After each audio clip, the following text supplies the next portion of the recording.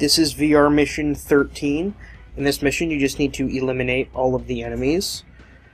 And all of the enemies in this mission are flying enemies. The first wave is a large wave of sliders. Then the second wave is several more sliders, along with a couple helicopters.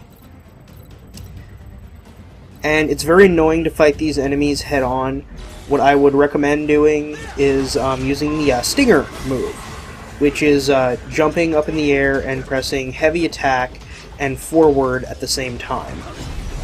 And you can jump up and target one of the uh, sliders, and then use that, and then once you're in close range, you can Zandatsu them.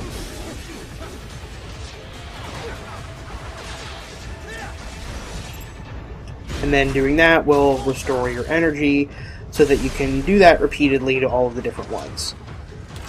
There are homing missiles in this arena, and they can be useful, but they're not really useful as a uh, complete strategy in and of themselves, just because it takes too long for them to spawn and too long for you to use them if you're going for a gold time.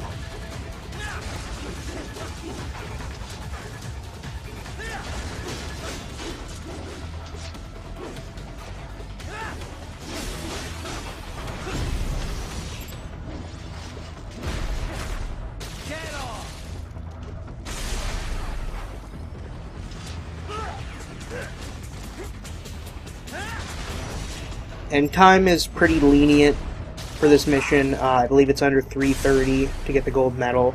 And as you can see, I'm getting hit here and messing up a bunch. And I still get the gold medal in this run. So um, you have a lot of room for error. And then in the second wave, there's a few more sliders, and you're going to want to take out those first.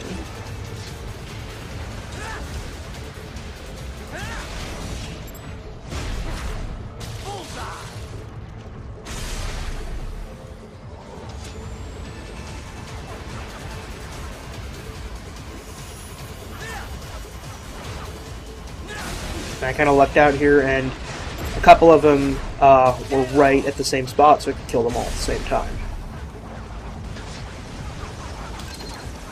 Now, for the helicopters, the uh, easiest way to take out these guys is to just do a quick circuit around the arena and pick up a few Stinger missiles, and then use the blocks here as cover so you can fire around the side and into them. And after about three, four missiles, they'll take enough damage and get to the point where you can jump up and use Zandatsu to slice them open and kill them with one more hit.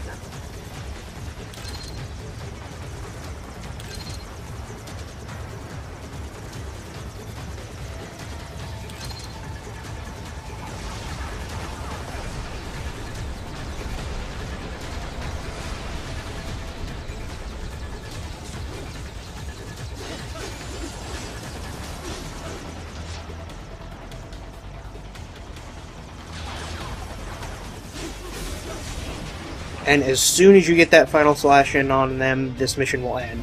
The helicopters have no death animation or anything like that.